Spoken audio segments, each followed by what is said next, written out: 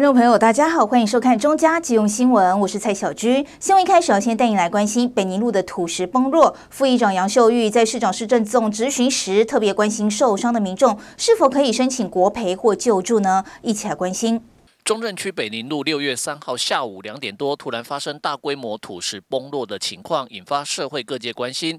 基隆市议会副议长杨秀玉在市长市政总质询时，特别关心受伤民众是否可以申请国赔或是救助呢？针对这件事情哦，我想就是市长哦，因为如果说是他的监监测的这个部分哦，他是没有监测的这个所谓的这个设备，或者是说他有不足的部分，是不是可以申请国赔？所以，请市长去中央，哦，交通部公路总局去了解，该国赔的还是要给赔偿给这些车辆损失损坏的部分的这些，哦，就是呃这些驾驶人，哦，包括就是伤者，都一定要做做好这些，哦，就是我们该我们该负责到底的这个。哦，问题，我想请市长简单扼要的讲一下。市长谢国良表示，主管机关交通部公路总局指出，应该会替受伤的民众以及车辆损坏的车主申请国赔。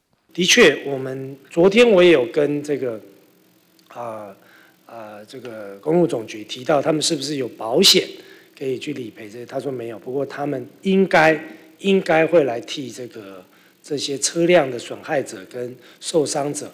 来做一个国赔的申请的动作，不过国赔的要件之一是在政府是有疏失的，那这个东西我们如何来界定等等？那就这个部分，假如是我们的市民的部分，或者是啊，如果我们能力所及，我们当然也是针对这几位当事人给予一些必要的协助。哦，先做以上的报告。另外，杨秀玉也提醒市政府要了解交通部公路总局是否有针对基隆市辖区内容易崩塌的地区做好监测的工作。针对这次的这个整个大规模的这个山山崩哦，我们该有的这个工程哦，政府要加强不足的地方，也要增加这个所谓的安全工程哦。那本席在这边要请市长去了解一下，就是有关于这个交通部公路总局，它在这个所谓的这个监控设备，到底有没有真正的发挥效果出来？你要去了解一下。那。还是说他根本就没有这个所谓的这个监测的这个设备？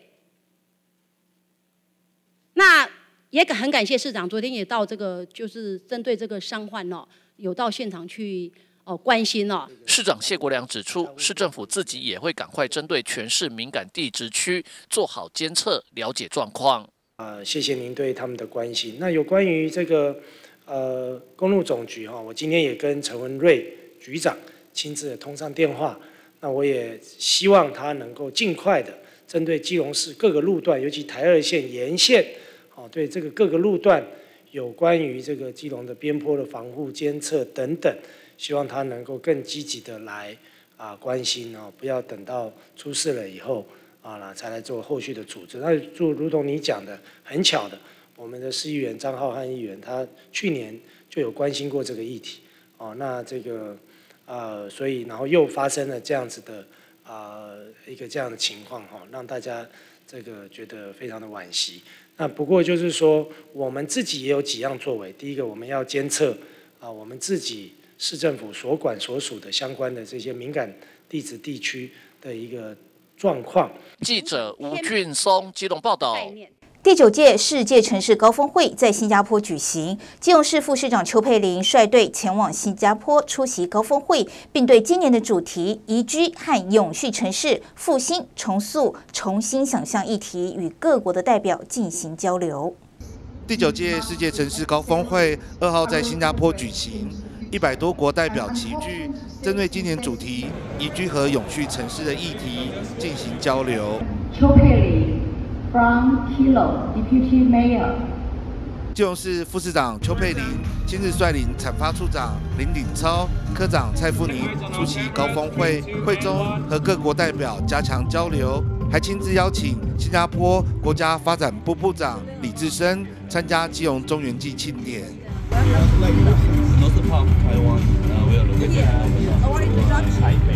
台北，你想中文？你们你们讲讲什么？有去过吗？去过旅游。哦，欢迎欢迎再来旅游，多发展啊！欢迎过来。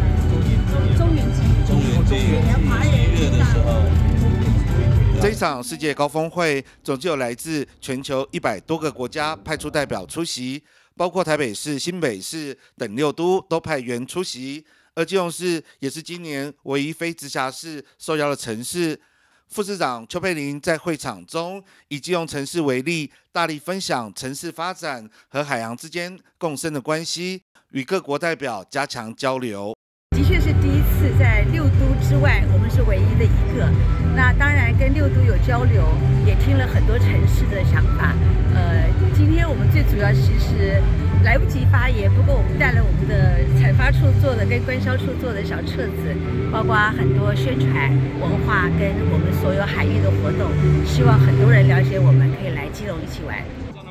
二零二四世界城市高峰会，基隆市不缺席，组团前往参加。副市长邱佩玲化身成为基隆大使，为基隆城市大力行销，做好国民外交之外，更让世界看到台湾。记者黄少明基隆报道。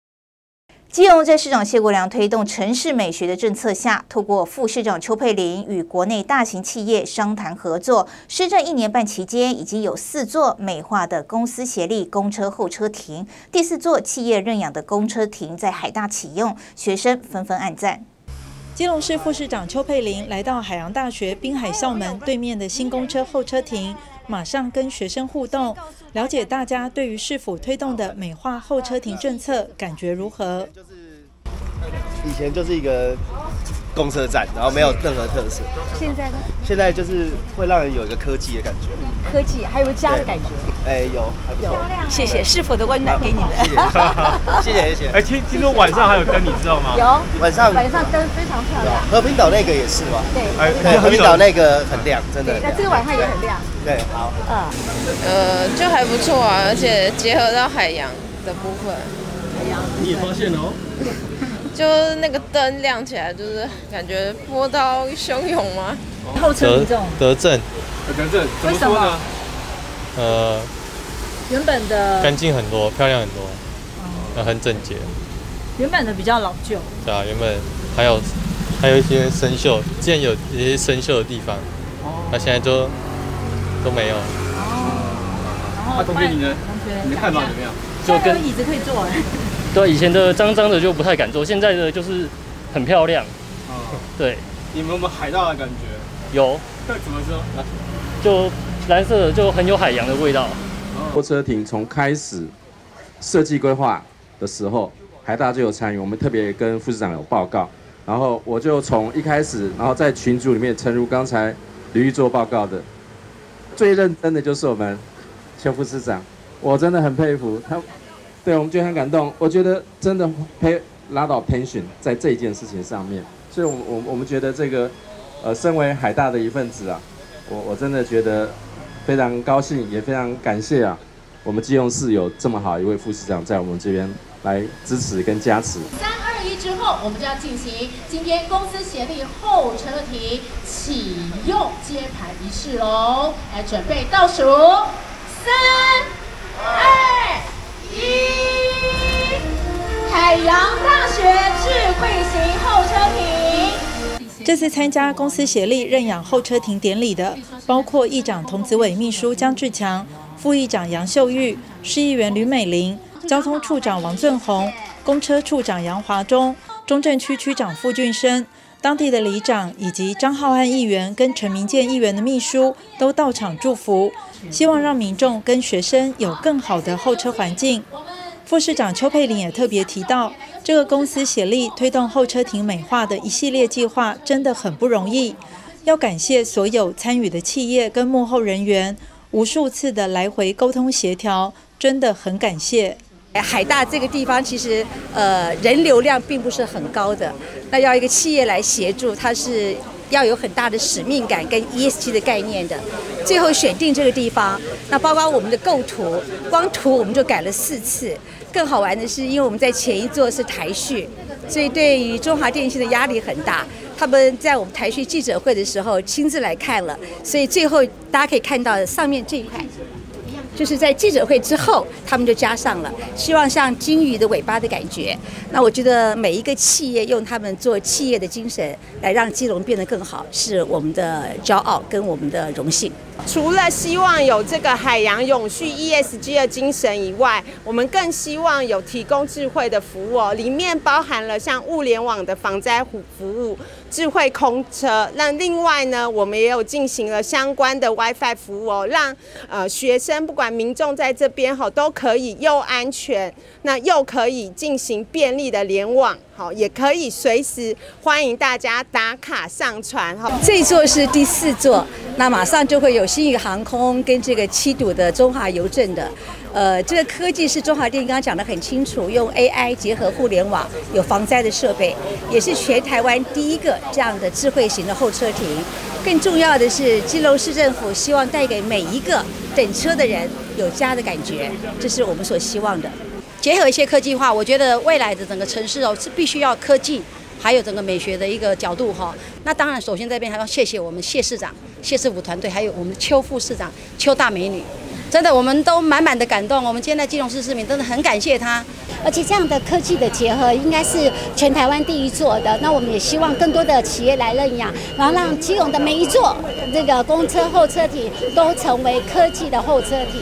市长谢国良带领市政团队，这一年半内已经跟企业合作认养四座公车候车亭，其中位在正滨渔港附近的候车亭，还被游客封为最美候车亭的打卡热点。不仅为民众带来舒适便利的候车空间，也进而提升了基隆城市的知名度。记者黄日升、陈淑平，基隆报道。端午节前夕，重用影艺科技大学旁的基隆济安宫举办包粽子关怀弱势民众，并制作传统香包的活动。副市长邱佩玲和市议员何淑平、吕美玲共襄盛举，感谢妙方行善送暖，也推广传统的端午节民俗。把多种中药材晒干磨成粉，制作传统香包，您看过吗？基隆基安宫这场端午节民俗活动，基隆市副市长邱佩玲跟市议员何淑平、吕美玲、民政处长张渊祥和信义区长吴小慧等贵宾，都共同来体验推广。有人就研究，就把菖蒲跟艾草把它研成磨成粉，把它放在用布把它包起来，那后来慢慢去去改善，变成有香包的存在。那目前以前我看到市面上在卖香包。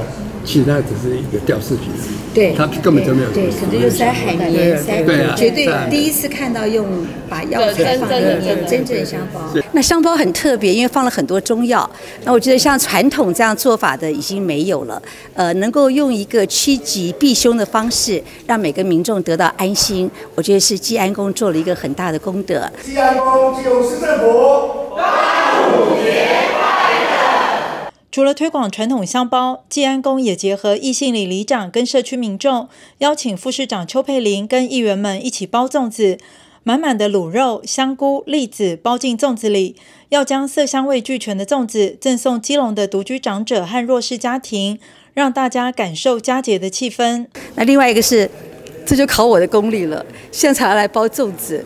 在来之前，我还在吹牛说我最会包的。等现场包了以后，看到大姐姐们包的，才觉得自己还有很多要努力的空间。在端午节前夕来制作香包，还有包粽子，还有家里呃挂着这个植物是什么呢？是呃菖蒲、艾草跟榕树，呃这样子挂在门口可以趋吉避凶。然后他包的那个粽子，我们这志工妈妈包的粽子里面料多实在，里面的猪卤猪肉很 Q，还有栗子。香菇哦，还有虾米，还有那个那个糯米，真的是很 Q，让我过了一个非常充实的一个端午节。我们知道七安宫哦，它本身就是一个历史非常悠久的宫庙。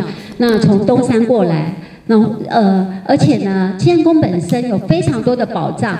包括他种了非常多的植物，他也利用这个植物做的非常多自然的东西。待会呢，实际上我们的董事长可能会一一的跟我们大家介绍。副市长邱佩玲感谢妙方与地方民众的爱心送暖。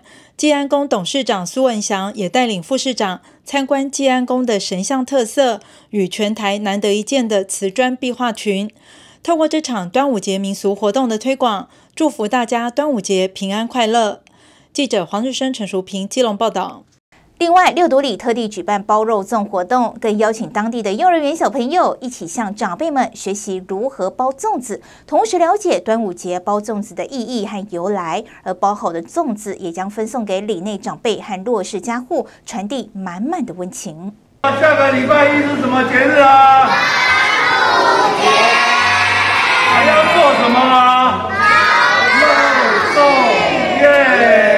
端午节快到了，七堵区六堵里特地举办包肉粽的活动，更特地邀请当地幼儿园小朋友一起向长辈们学习如何包粽子，一并了解端午节包粽子的意义和由来。带小朋友下来，跟这些奶奶一起包粽子，然后也体会端午节节庆的由来跟它的一些习俗。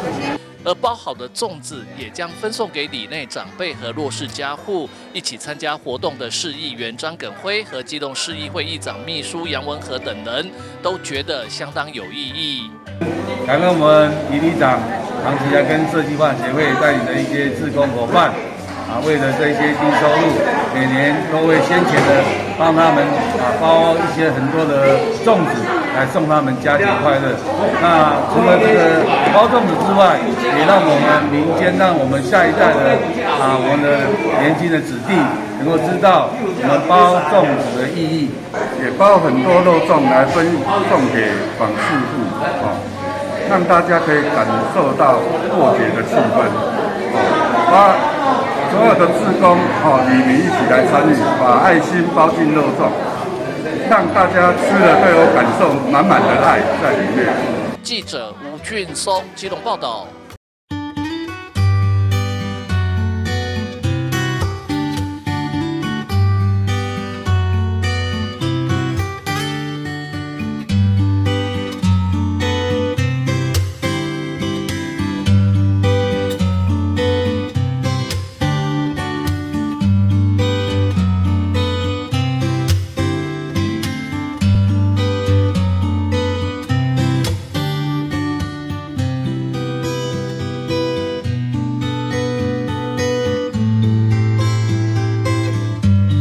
想知道基隆市政府各单位正在推动哪些重要政策、大型活动或是社会福利措施吗？关心市政自会来节目特别邀请了产官学界来讨论各项政策最新发展，也欢迎民众表达意见，让市民可以快速掌握基隆脉动。欢迎锁定每周三晚上九点基隆第四频道，关心市政奏回来。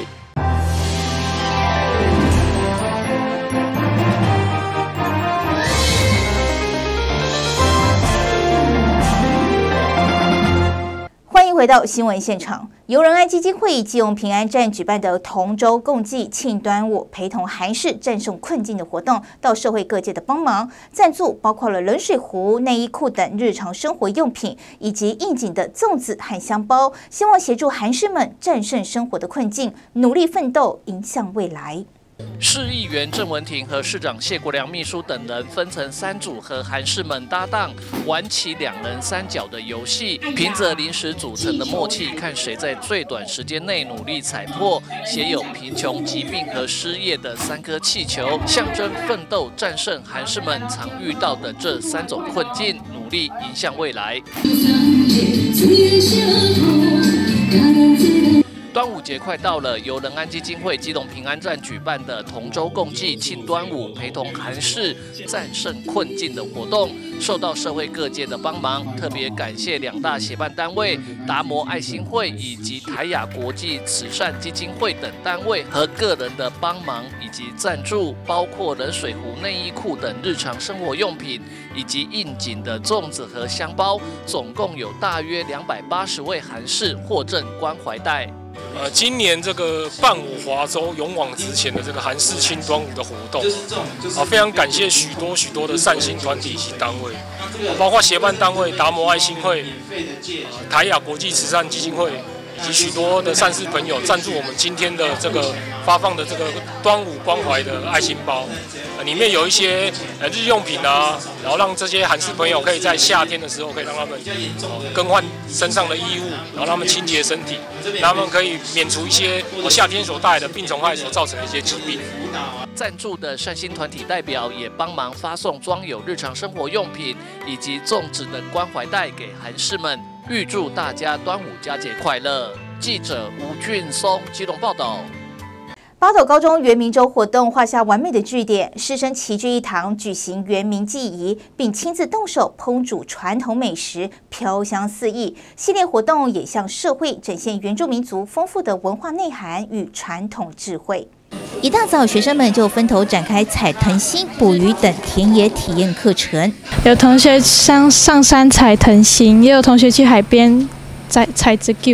今天有准备虾，然后鱼，然后还有藤关于原住民的汤品，感觉很很很累，可是也可以就是体验到以前就是老老人家们。这是我们的菜园，里面有种那个葱、地瓜叶、芋头，实践珍惜生命与感恩大自然的信念。原民美食在学生们的巧手下一一呈现。哦，这个是藤心，这个是阿美族。非常贵重的一个食材，它是从山上取下来，对于贵宾的一个最高的一个一个最棒的一个食材。还有这最新鲜的伴手礼正在火炉上烟熏着。从早上大概十点到下午三四点，哈，大概哦也要至少要五六小时，在靠着烟熏让它慢慢的熟。这个肉肉质非常的好吃，因为它不会油腻，你只要撒一点点盐就非常的好吃。这也是我们原民的特有的美食。而这一锅是众人引颈期盼的汤。这些渣拿掉以后，接着最重头戏就是要把我们的猪血放下去，我们名副其实的血肉模糊汤要出现了。血肉模糊汤跟菜市场一般我们所吃的那个猪血汤。是完全是不同的口味。血肉蘑菇汤一定要加那个酸菜，老板，嗯，加帅，加帅，哇，哎，那好喝，好喝哦。哎，把肉都口感怎么样？口感吗？就是比较油一点，但是味道很好。虽然这看起来非常的血肉模糊，但滋味奇佳，令人垂涎。这场原民飨宴款待传授八斗学子原民文化与功法的长者与老师们。同学们的老师哈，指导他们在花莲的一些呃山上的一些部落的一些课程哈，所以非常谢谢他，也利用机机会来啊感谢他们啊，这也是一种感恩的活动哈。那也符合我们这一次元明周的主题，就是爱啊，我们的长辈们对我们学生的爱，那我们的我们的同学们也要回馈给我们的长辈。在长老的带领祷告下，开启了这场盛宴。开动！丰盛的美食下，感受原民传统文化与智慧。对于即将要毕业的学生，长老们纷纷给予祝福。我知道他们很用心的去学，不过他们要毕业了，不要忘记，阿公在这边加要向你们加油。好，感谢校长今天的邀请，我也没来参加过这种活动，但今天来真的感觉到原原住民这些学生的热情哦，还有这些丰富的哦午餐，真的赞棒。师生齐聚，亲自烹调传统美食。未来还有一系列的原民课程计划，将原住民丰富的文化内涵与传统智慧传承下去。记者蔡小军，基隆报道。为了要净化治安，基隆警方进行扫黑行动，查获民宅私设的天九牌赌场，逮捕非法聚赌，更破获以黄姓主嫌为首的暴力讨债集团，查获了好几把改造的枪支。扫黑行动侦破了一百六十七起不法的案件，两百二十七名嫌犯，还有三十八名通缉犯。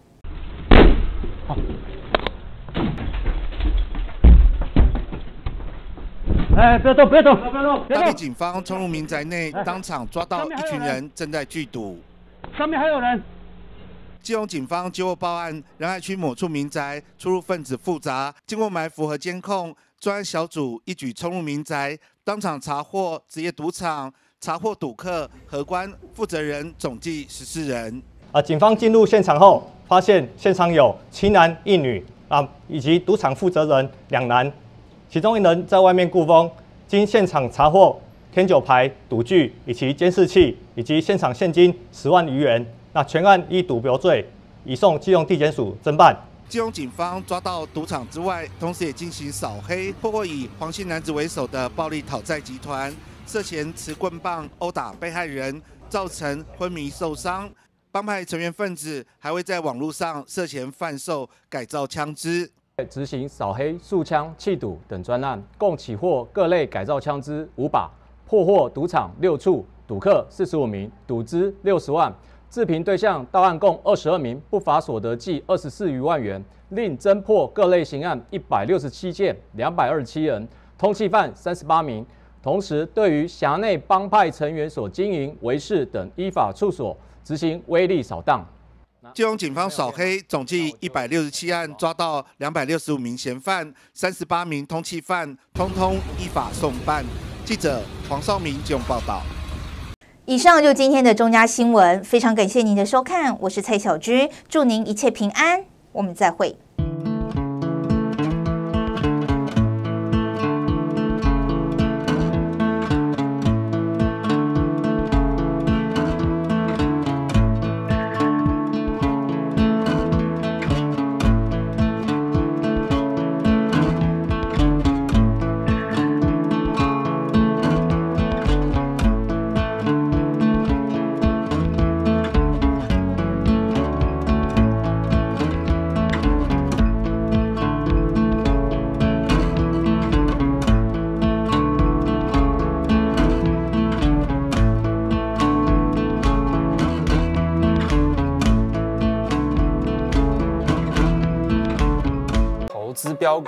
迈向财富自由，欢迎你，让我带你走向成功。哦，跟着老师就赚了十万哦！我刚赚到人生第一桶金了。注意，这边有个新的投资标的，五十万包你吧，只有十个名额。我要加。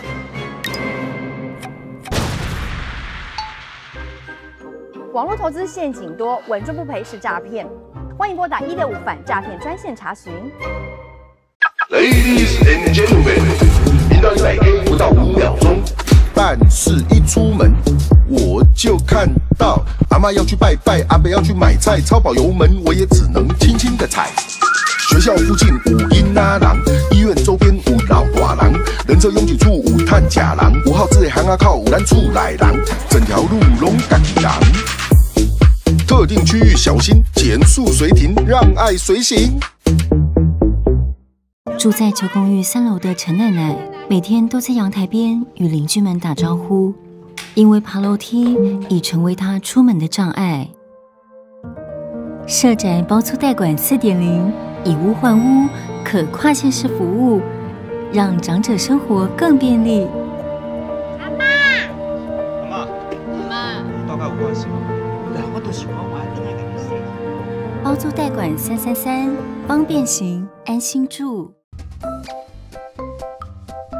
及非法机上盒经销商强力查缉，据查获七百七十八台非法机上盒，涉嫌侵权金额超过台币十亿元。看到一则则的新闻，这些制造、输入或销售侵权机上盒的业者，都会遭到最重可处两年以下徒刑和五十万元罚金。影视产业是文化输出的软实力，可带动旅游、观光等行业发展。盗版业者行为会让正版业者收益减损，进而减少产出优质节目的能量与资源。直接受到伤害的是文创工作者及消费者。所以，请大家检查一下自己使用的机上盒是否合法。就算是合法的机上盒，内件是否下载了侵权 App？虽然台湾没有对使用侵权机上盒的民众有任何的罚则，但为了打造一个优质且强盛丰富的影音帝国，请民众一起保证市场合法秩序，支持影视产业。